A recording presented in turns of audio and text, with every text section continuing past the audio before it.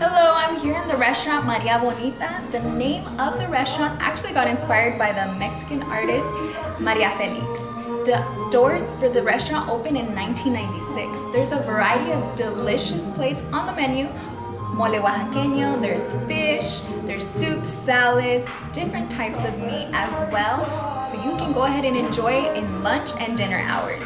The address to the location here at the restaurant is 256 East Street in Ventura, California. The phone number is 805-652-0247. And if you need catering services, they also offer them. If you want a gift certificate and surprise your loved ones, family, friends, you can also do that. There's also a variety of artwork displayed here at the restaurant for you to enjoy from three different local artists. And if you want to purchase an art, you can the same day.